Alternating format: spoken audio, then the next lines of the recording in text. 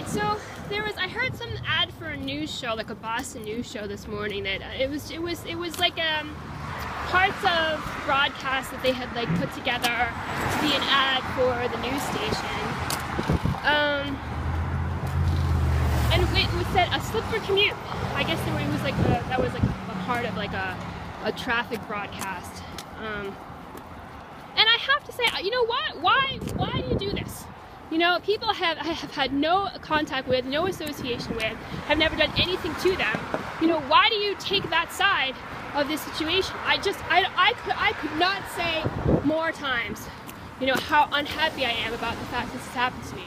You know, and there are probably a lot of people in the public who have only kind of heard, you know, they, they've, oh, they've only heard the version of the story the conglomerate wants them to believe, you know, which prob- probably, probably is probably is, you know, the idea have gotten it totally backwards. Uh, in the sense that, like, okay, well, she did, she did all these videos, she agreed to be in them, and now people treat her like she's a dirty slut. When in fact, it wasn't like, it's not like that at all. You know, I mean, what, what happened was I was being treated like a dirty slut before the videos were filmed of me. I had no control over them. I did not consent to them. It's the last thing in the world I ever would have done. And the reason that I was being called a dirty slut in the first place pretty much is because I said no to Leonardo DiCaprio who wanted to date me.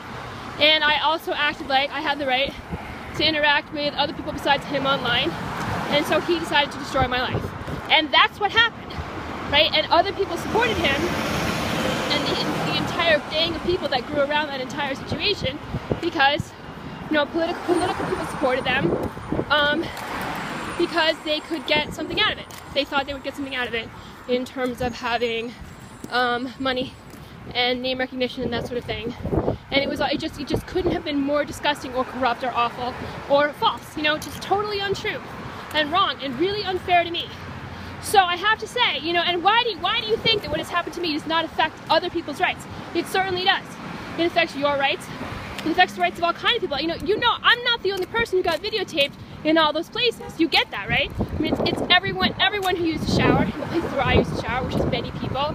Anyone who used a toilet in the places where I use a toilet, which is many people. You know, homeless people, people in psychiatric units. Now, obviously, you know, women, women and teenagers and children in the locker room at the YMCA in Chinatown.